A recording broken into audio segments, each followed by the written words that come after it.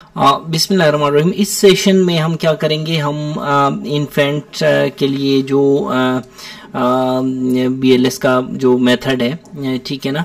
किस, क्या क्या क्या करेंगे इसमें? इसमें हम इन्फेंट्स के लिए और जो चिल्ड्रन है, इनके लिए बी एल एस कैसे करते हैं, कैसे प्रोवाइड करते हैं? देखिए, जब भी आप एग्जामिनेशन हॉल में जाते हैं फॉर बी एल एस के लिए ठीक है ना? तो वहाँ पे छोटी छोटी जो डमीज होती हैं इन्फेंट्स की, ठीक है ना?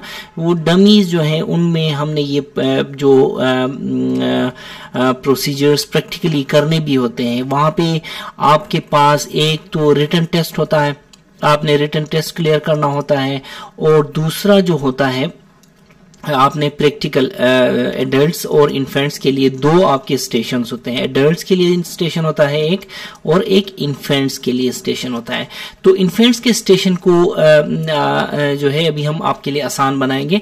सबसे पहले देखें जनरल कंसेप्ट की बात करें। तो जनरल कंसेप्ट में दो जो जो जनरल कंसेप्ट में ओवरव्यू ये है कि this section describes BLS for infants and children ठीक है? अब देखिए इन्फेंट्स एंड चिल्ड्रन दो अलग टर्म्स हैं। ठीक है ना? इनकी क्या एज डेफिनेशन है? इनकी एज डेफिनेशन ये हैं कि जो आ, जो इन्फेंट्स है ना? इन्फेंट्स पहले पहले जो इन्फेंट्स जो है they are less than one year उनको हम इन्फेंट्स कहेंगे। ठीक है? एक्सक्लूडिंग द न्यूली बोर्न इसको आप एक्सक्लूड करेंगे इसमें से। ठीक है ना? अच्छा इसी तरह जो चिल्ड्रन है, अब एक इन्फेंट्स की डेफिनेशन तो ये आ गई। अब चिल्ड्रन की क्या डेफिनेशन है? चिल्ड्रन की है कि एक साल से लेके प्यूबर्टी तक जितने भी जो है एज ग्रुप है, वो चिल्ड्रन में आ जाएगा। ठीक है ना? वो चिल्ड्रन में आ जाएगा। साइंस ऑफ़ प्यूबर्टी फिर हम कैसे देखेंगे? चेस्ट और अंडर आर्म हेयर ठीक है ना? हेयर इन मेल्स और breast development in females females में फिर ब्रेस्ट डेवलपमेंट देख के हम डिसाइड करेंगे कि आया इसको प्यूबर्टी आई हुई है कि नहीं ठीक है ना? यानी कि फीमेल्स में ब्रेस्ट डेवलपमेंट ठीक है ना? और मेल्स में क्या है?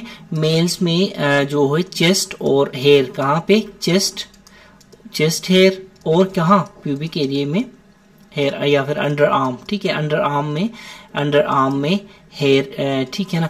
तो अब देखें लर्निंग ऑब्जेक्टिव्स क्या है? किसकी learning learning objectives BLS for infants और बीएलएस फॉर चिल्ड्रन के लर्निंग ऑब्जेक्टिव्स क्या है? At the end of this part you will be able to क्या? Perform high quality CPR for child ठीक है ना? यानी कि चाइल्ड क्या? वन ईयर से लेके प्यूबर्टी तक और perform high quality CPR for infant यानी कि एक साल से लेके एक साल से कम एज वाले को एक्सक्लूडिंग न्यू बॉर्न ठीक है? अब जो बी एल एस है ठीक है ना? देखें ठीक है ना? अब देखें, यहाँ पे जो बी एल एस है B L S health care provider paediatric cardiac arrest algorithm for the single rescuer यहाँ पे याद रखें B L S for infant अगर सिंगल वन रेस्क्यूअर हो तो डिफरेंट वो है। अगर टू रेस्क्यूअर हो तो, तो उसमें थोड़ी बहुत चेंजेस हैं। आपके एग्जामिनर जो है आपका एग्जामिनर क्या करेगा? एक सिनेरियो देगा। आपका एग्जामिनर एक सिनेरियो देगा। सिनेरियो में कहेगा कि हाँ यार एक आप अकेले आप वन रेस्क्यूअर हो तो आप क्या करोगे?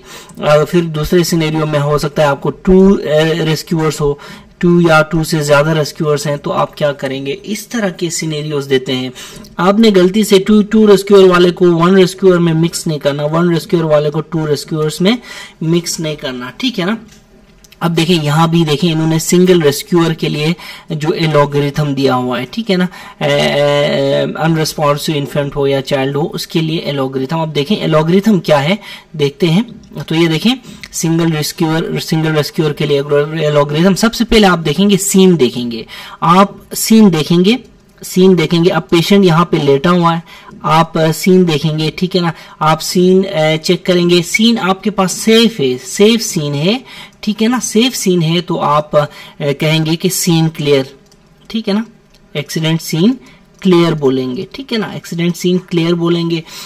ये मुँह से बोलेंगे बाकायदा आप, ठीक है ना? ड्यूरिंग द सीपीएसपी एग्जामिनेशन ये आपसे वो सुनना चाहते हैं सीन क्लियर पेशेंट लेटा हुआ है, आपको एग्जामिनर ने कहा कि आप जाओ, आप जैसे ही जाएँगे, आप कहेंगे कि आप देखेंगे सीन क्लियर है कहेंगे ठीक है? सीन इज़ क्लियर उसके बाद आप देखेंगे कि विक्टिम इज़ अनरेस्पॉन्सिव ठीक है ना? एंड uh, अगर उसका रिस्पांस चेक करेंगे यानी सीन के बाद रिस्पांस चेक करेंगे। रिस्पांस आप किड्स में पता है कैसे चेक करेंगे? किड्स में देखिए आपकी रिस्पांस चेक करने का भी तरीका है। रिस्पांस आप एडल्ट्स में एडल्ट्स में ना एडल्ट्स अगर ये फॉर एग्ज़ाम्पल एडल्ट पेशेंट है तो शोल्डर में हाथ रख के पूछना बोलना होता है are you okay hello are you okay ठीक है इस तरह रिस्पॉन्स चेक करना। वो रिस्पॉन्स नहीं देगा तो इसका मतलब अनरिस्पॉन्सिव है। किड्स में उसका ऑपोजिट है। किड्स में आपने दोनों लेग्स में थपथपाना है दोनों सॉरी दोनों फीट के नीचे पा, पाम्स पे। सॉरी सोल पे। सोल पे आपने थपथपा के पूछना है हेलो आर यू ओके बोलना है और यू ओके के नहीं? ये भारत क्योंकि किड्स रिस्पॉन्स वैसे भी नहीं करते, ठीक है ना? तो अगर तो वो एक साल से नीचे है तो वो कैसे बोलेगा? अगर आप आर यू ओके कहेंगे तो। एक साल से ऊपर से लेके प्यूबर्टी तक हाँ बेशक आप बोल सकते हैं आर यू ओके ठीक है ना? तो जैसे ही आपको पता चलेगा कि पेशेंट अनरेस्पॉन्सिव है, ठीक है ना? फिर आपने क्या करना? शॉर्ट करना है। शॉर्ट करना है हेल्प के लिए, ठीक है ना? हेलो ठीक है ना? हेल्प शॉर्ट कैसे करेंगे? हेल्प कहेंगे एंड ब्रिंग द जो है ए ई डी बोलेंगे, ठीक है ना? हेलो ब्रिंग एईडी e ठीक है ना? Hello help and bring AED ठीक है? इतना बोलेंगे और ये एग्जामिनर सुनना चाहता है आपसे ठीक है? This examiner wants to listen ठीक है ना? अब उसके बाद आप क्या करेंगे? उसके बाद आप ए, देखेंगे एग्जामिन करेंगे ठीक है ना? ब्रीदिंग एग्जामिन करेंगे ब्रीदिंग एग्जामिन करेंगे एक बात और जो है पल्स एग्जामिन करेंगे और ये दोनों चीज़ें आप साइमल्टेनियसली करेंगे, याद रखें। These two things go side by side for example यहाँ पे पेशेंट लेटा हुआ है। ठीक है ना? यहाँ पे पेशेंट लेटा हुआ है और आपका जो पेशेंट है, वो डेफिनेटली चाइल्ड है इन्फेंट है। ठीक है ना?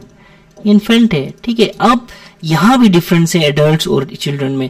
एडल्ट्स में आपने कैरोटिड पल्स देखनी होती है, ठीक है ना? यहाँ पे आपको देखो एडल्ट्स में आप कैसे पल्स चेक करेंगे? किड्स में आप कैसे पल्स चेक करेंगे? एडल्ट्स में आपने कैरोटिड पल्स अब पेशेंट लेटा हुआ है, यहाँ पे ट्रेकिया को पहले फील करेंगे। ट्रेकिया से उंगलियाँ स्लाइड करके नीचे लाएँगे। फॉर एग्ज़ाम्पल ये नेक है, यहाँ से यहाँ तक नेक है। ये ट्रेकिया है, ये जो है, ये ट्रेकिया है। ट्रेकिया से स्लाइड करके फिंगर्स नीचे लाएँगे, नीचे लाके कैरोटिड पल्स चेक करेंगे उसकी, ठीक है ना? किड्स में ऐसा नहीं है। किड्स में आपने क्या करना है? आपने किड्स में आपने अपर आर्म में एल्बो से ऊपर मीडियल साइड पे आपने हाथ रख के आपने पल्स चेक करनी है। ये ब्रेकियल पल्स चेक करनी होती है किड्स में, ठीक है? किड्स में क्या चेक करना होता है? ब्रेकियल पल्स चेक करनी होती है। याद रखें ब्रेकियल पल्स एल्बो से एल्बो से ऊपर, ये हाथ है किड का, यहाँ पे ये एल्बो है, इस जगह में एल्बो है। तो मिड आर्म में, इस पॉइंट पे आपने मीडियल एस्पेक्ट में बॉडी वाली साइड पे, अपनी साइड पे आपने हाथ रख के आप उसका पल्स ब्रेकियल पल्स चेक करनी है। ठीक है ना? Not in the cubital fossa ठीक है? ब्रेकियल पल्स आपने यहाँ चेक करनी है, ठीक है? तो ब्रेकियल पल्स चेक किया आपने और ब्रेकियल पल्स चेक करने के लिए विद इन टेन सेकेंड्स आपने ब्रेकियल पल्स चेक करनी है। ठीक है ना? विद इन टेन सेकेंड्स ठीक है? क्या लिखा हुआ है? लुक फॉर नो ब्रीदिंग और only gasping and check pulse simultaneously ठीक है ना? देखिए ये चीज़ें याद रखें पॉइंट साइमल्टेनियस है आपका पेशेंट यहाँ लेटा हुआ है। आपने पल्स चेक की, यहाँ पे मिड आर्म पे अपर आर्म पे। साथ साथ आपने चेस्ट पे नज़र डालनी है चेस्ट पे। चेस्ट पे नज़र डालनी है ब्रीदिंग चेक करने के लिए। हाँ ठीक है ना? अब देखिए, आपने पल्स भी चेक की पल्स चेक की और ब्रीदिंग चेक की। ठीक है ना? क्या क्या चेक किया? पल्स चेक की और पल्स चेक की, आपने क्या किया? आपने पल्स चेक किया और ब्रीदिंग चेक की। अब अब दो ऑप्शन हो सकते हैं। ब्रीदिंग नहीं हो सकती है। देखें, ब्रीदिंग नहीं है और पल्स है। ठीक है, ये ऑप्शन है। अब दूसरा हो सकता है कि ब्रीदिंग भी ठीक है और पल्स भी ठीक है। ठीक है, अब अगर पेशेंट की ब्रीदिंग नहीं है और पल्स है तो आप क्या क्या करेंगे? ठीक है ना? फिर आप उसको रेस्क्यू ब्रीदिंग देंगे। ठीक है ना? रेस्क्यू ब्रीदिंग क्या है? कि वन ब्रेथ देंगे every three to five seconds और twelve to twenty breaths per minute बन जाते हैं ये। ठीक है? अब आप एक बार जो पॉकेट मास्क लेंगे, देखें पॉकेट मास्क अगर आप वन रेस्क्यूअर है ना तो आप छोटा वाला पॉकेट मास्क यूज़ करेंगे। अगर आप टू रेस्क्यूअर्स हैं तो Ambu bag bag mask use करेंगे। ठीक है ना? तो अब इसको मास्क को भी हैंडल हैंडल करने का तरीका होता है, वो मैं आगे आके जाके आपको समझाऊँगा। ठीक है? अब आप rescue breathing one breath every three to five second देखिए थ्री टू फाइव सेकेंड है ये। Three to five second one breath आप वन ब्रेथ देंगे, एक ब्रेथ देके one two three four five करके काउंट करेंगे, फिर दूसरी ब्रेथ देंगे, ठीक है ना?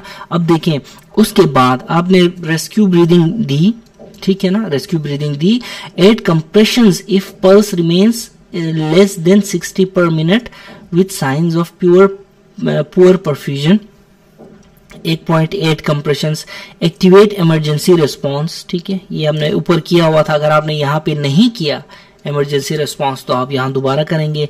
Continue rescue breathing check pulse about every two minutes ठीक है ना? देखिए रेस्क्यू ब्रीदिंग देते हुए कैसे रेस्क्यू ब्रीदिंग देंगे? One breath every five seconds कर लो। ठीक है? वन ब्रेथ एवरी यहाँ पे थ्री टू फाइव है ठीक है? लेकिन हम मैक्सिमम लेंगे। One breath every five seconds करके करने के बाद आप क्या करेंगे? ए, ए, जो है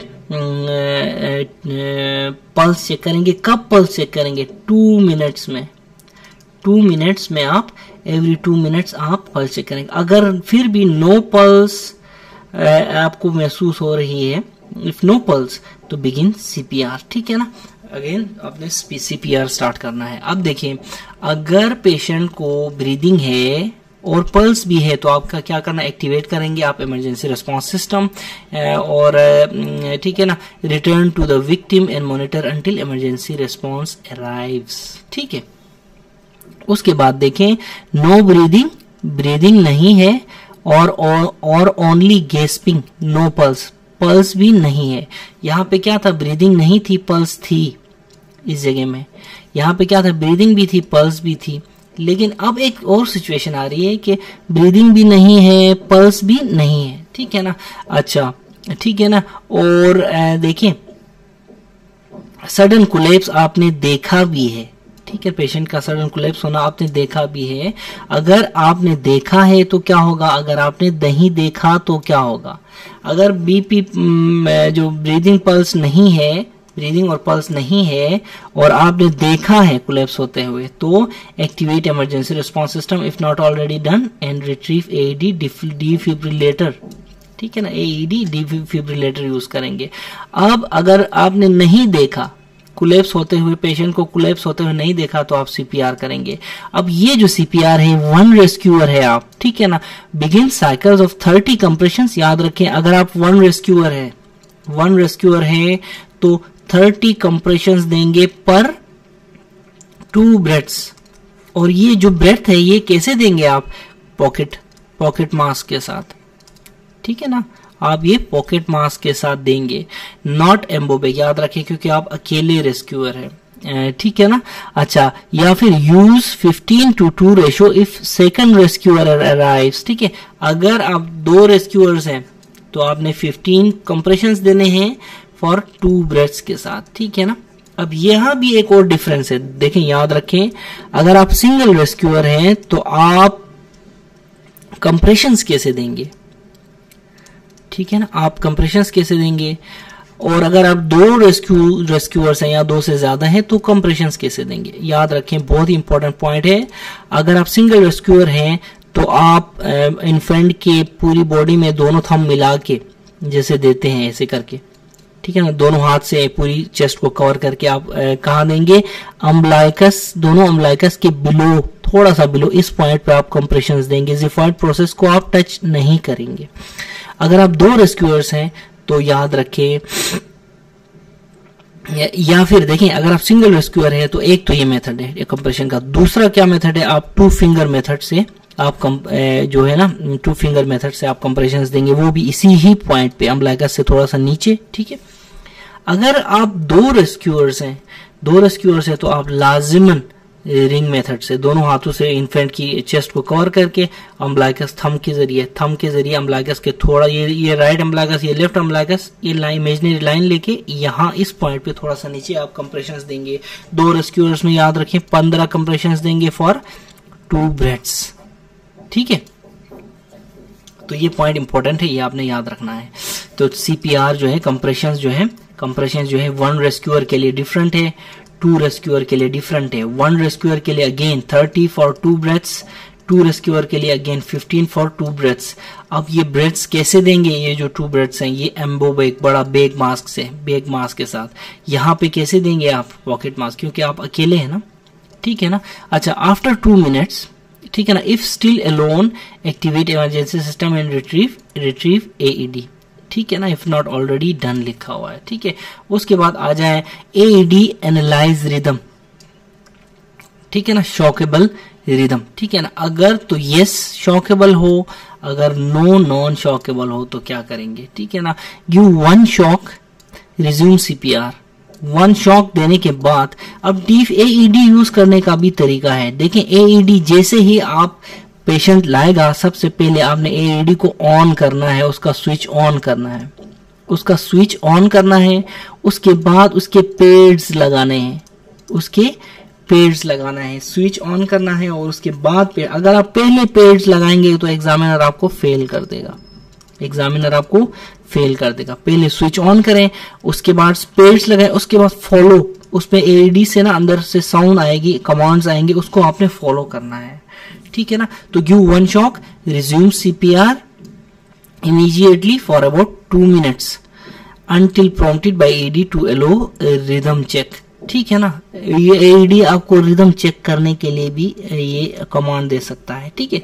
Continue until ALS providers take over और victim starts to move continue करना है जब तक विक्टिम मूव नहीं करता या फिर एएलएस प्रोवाइडर टेक ओवर नहीं करते, ठीक है? इसी तरह नॉन शॉकेबल है, ठीक है ना? Resume CPR immediately for about two minutes until prompted by AAD to allow rhythm check, ठीक है?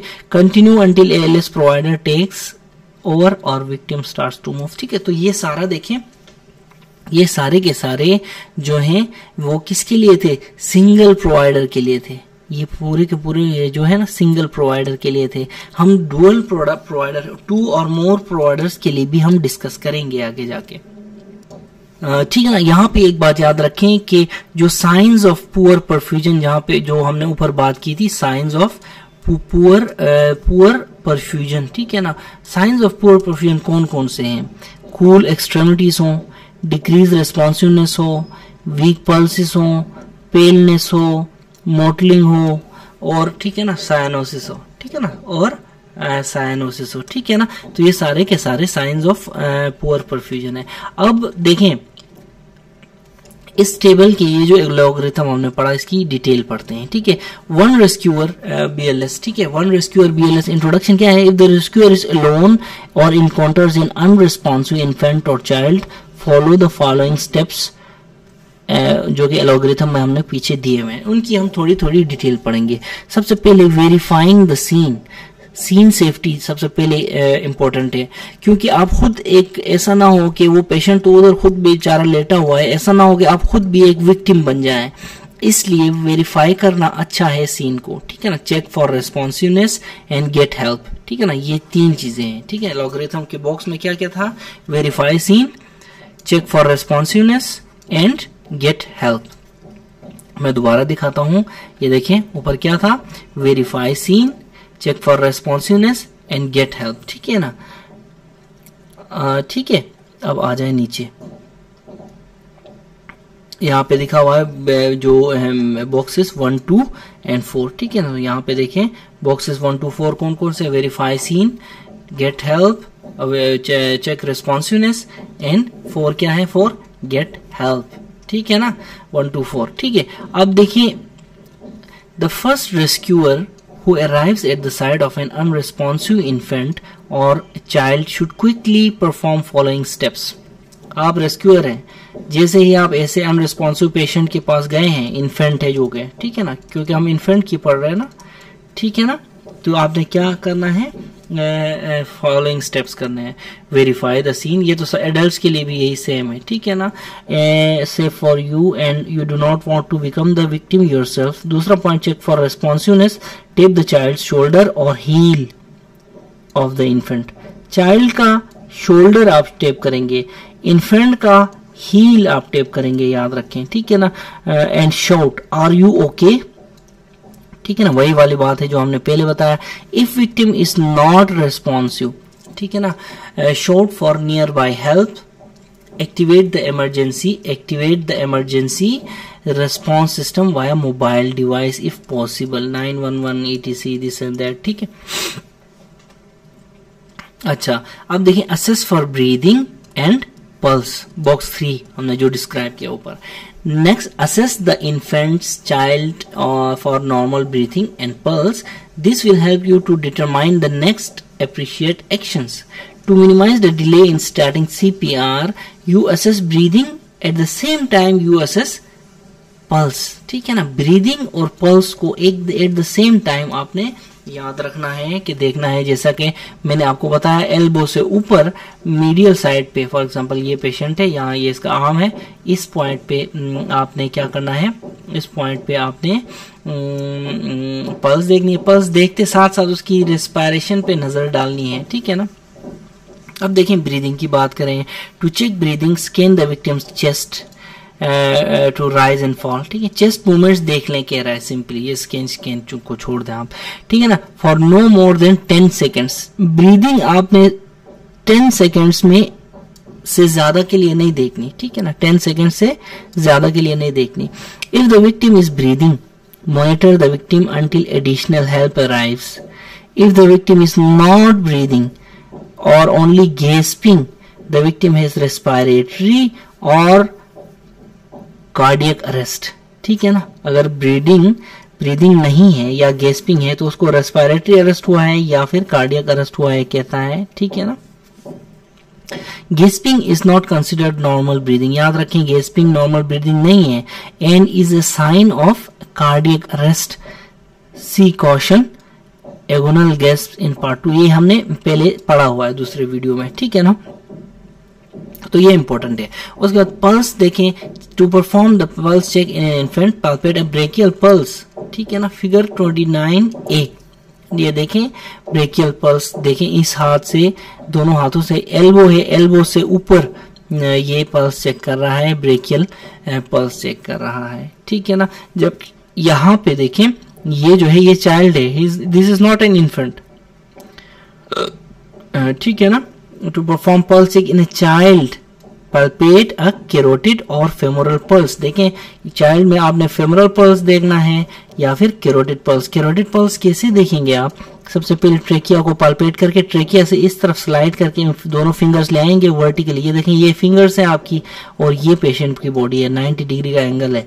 इस पॉइंट पे आपने कैरोटिड पल्स देखना है। तो क्या क्या हमने नतीजे निकाला? चाइल्ड में कैरोटिड पल्स देखेंगे या फेमोरल पल्स देखेंगे और इन्फेंट में आपने ब्रेकियल पल्स देखनी है। ठीक है ना? तो ये हो गया। उसके बाद आ जाए to perform the pulse check in a child palpate carotid और फेमल मैं, मैंने आपको बता दिया। It can be difficult for a BLS provider to determine the presence और absence of a pulse in any victim हो सकता है ये डिफ़िकल्ट हो ठीक है ना? पार्टिकुलरली इन एन इन्फेंट और a child so if you do not definitely feel a pulse within ten seconds start CPR देखें यहाँ पे टाइम का बहुत इंपॉर्टेंट रोल है। ब्रीदिंग जो है ब्रीदिंग वो भी आपने टेन सेकेंड्स में, ठीक है? पल्स भी आपने टेन सेकेंड्स में। और ये टेन सेकेंड्स डिफरेंट नहीं है। इन्हीं टेन सेकेंड ये असल में दोनों मिला के टेन सेकेंड्स है। इन्हीं टेन सेकेंड्स में आपने पल्स भी देखनी है, इन्हीं टेन सेकेंड्स में आपने ब्रीदिंग भी देखनी है। ठीक है ना? अच्छा ये हो गया। ठीक है ना? अच्छा अब कहता है कि अगर पल्स फील ना हो टेन सेकेंड्स में तो आपने एकदम चेस्ट कंप्रेशन सीपीआर स्टार्ट कर देना है, कह रहा है। ठीक है? आगे बढ़ते हैं।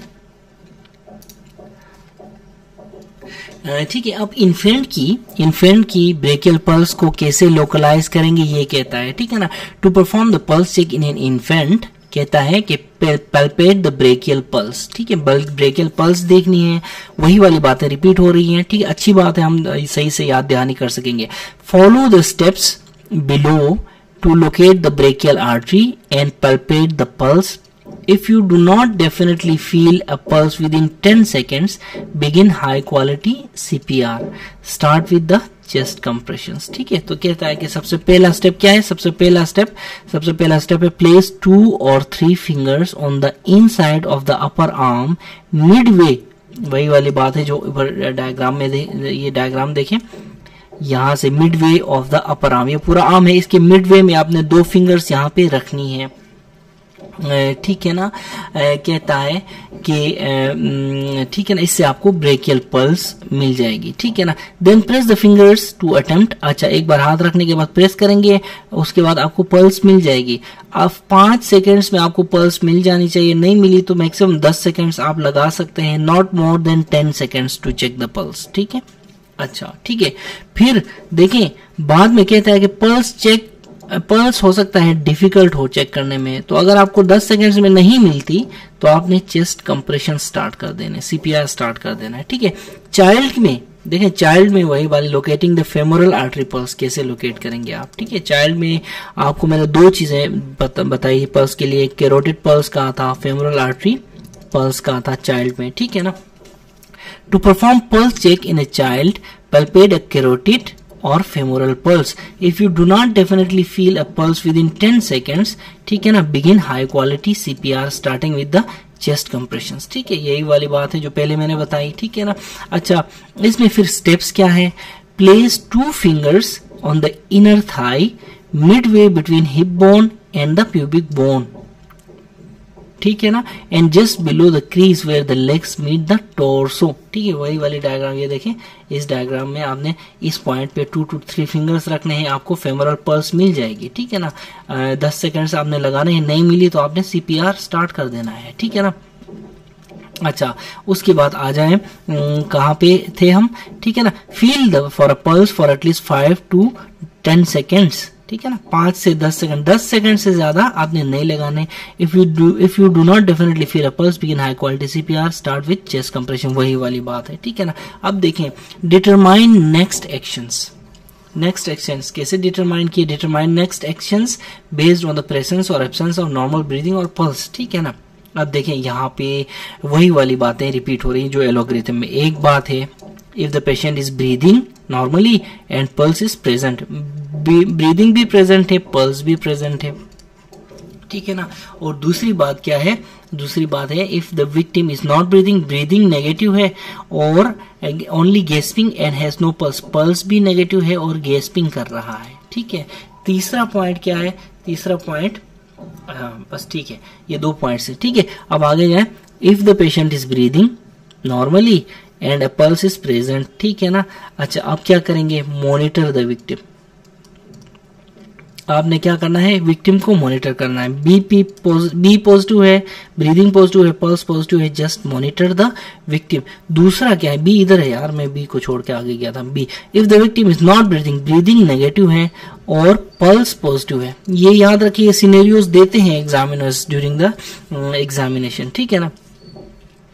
अगर ये सिनेरियो दें हाँ आप बताओ भाई पेशेंट की ब्रीदिंग पॉजिटिव है पल्स भी पॉजिटिव है, आप क्या करेंगे? आप कहेंगे मॉनिटर करूँगा उस पेशेंट का जो नीचे लेटा हुआ है। ठीक है ना? अब अगर वो कहेगा कि ब्रीदिंग नेगेटिव है पल्स पॉजिटिव है तो आप क्या करेंगे? अगर ब्रीदिंग नेगेटिव है पल्स पॉजिटिव है तो आप रेस्क्यू ब्रीदिंग करेंगे। ठीक है ना?